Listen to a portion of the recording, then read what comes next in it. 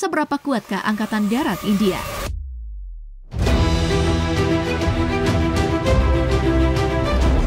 Dengan jumlah populasi terbesar kedua, India memiliki angkatan darat dengan tentara terbanyak di dunia, 1,2 juta personil aktif.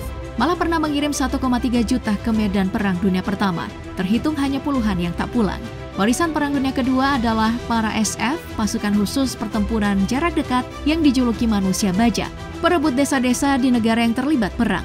Berada di peringkat ke-6 terkuat dunia, Angkatan Darat India didukung kekuatan hampir 5.000 tank, masuk top pemilik tank terbanyak di dunia. Dengan 12.000 kendaraan lapis baja, 3.000 lebih artileri, 100 unit artileri swagerak, dan 1.000 lebih unit proyektor roket.